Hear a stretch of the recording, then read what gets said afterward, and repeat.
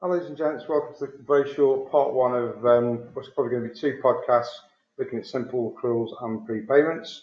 Um, we're going to look at what they are, uh, what we adjust for them, and how we do the T account.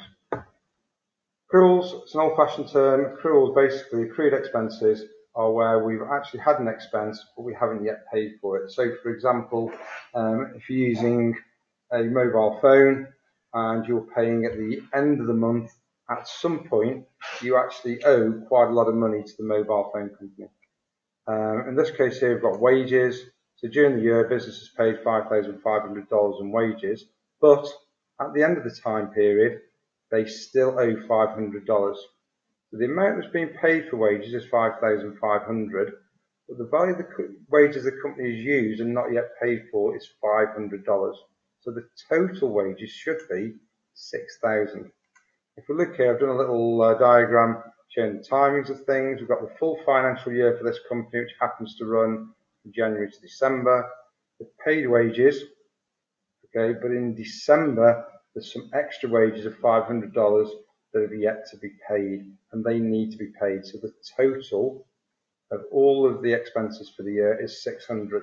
And that matches something or meets something called the matching principle. What that says is that in accounts, what we should try to do is to uh, match or put expenses in the year in which the revenue occurs. So we will have used those salespeople to sell the goods for us or to make goods if it's uh, workers, and therefore we should include that expense as part of this year's expenses, even though we'll pay for it maybe in January or February. Okay, straightforward part, and if you're doing an exam question, you should always try and make sure you get this one right having to do with T account. We know that we spent 5,500 in wages from the bank. I'm going to put it in here as one entry.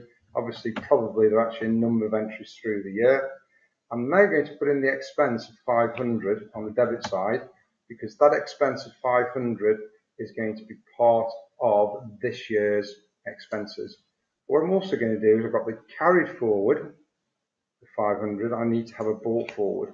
And the brought forward is logical because next year we're going to owe $500. So what does that mean now? Well, debit side equals 6,000. Credit side's got to equal 6,000 when I balance off. It's an expenses account. So the, the difference, the 6,000 now, that needs to go to the income statement as the expense.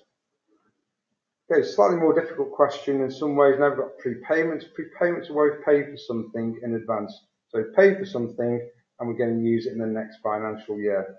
And in this case here, business has made um, a number of payments. It's made four payments of $600 each during the year. And then on the 1st December 2015, they've made a fifth payment of $600, which is to cover the next three months' rent. So first of all, these four original payments Okay, they total what $2,400. They go on the debit side because it's an expense and there'll be a credit entry in the bank. I could have, and you could have quite as well, have made this payment as part of that number there. If you made that 3000 it wouldn't matter. We've made an extra payment of $600. But now when I look at my timeline, on my timeline, um, I've got the 2,400 that should be in this year's expenses, and I've spent $600 here in the orange covering December, January and February. So what I need to do is to find out which bit of that expense belongs to the current financial year and it's obviously going to be a third of it because it's three months covered by that $600. So you divide 600 by 3 gives me 200. So I've got a prepayment um, of $400 in total. So my prepayment, the bit that isn't an expense for this year, and therefore I'm going to take it out, goes on the credit side.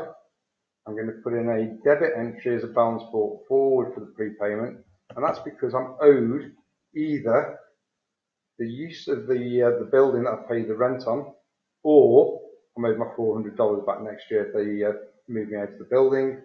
And now I just balance off the accounts like normal. So the balancing figure will go to the income statement because it's an expense. Okay, we've got 3,000 on the debit side.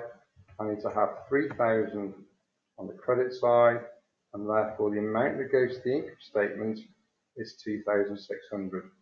I know that's right because either A, I can look at all the payments, the expenses during the year, 2,400, and add on the bit of the final payment that belongs to this year, 52,600. Or I can look at my whole payments for the year, $3,000, and then I can subtract the $400 that belongs to future years, and that gives me a total of 2,600.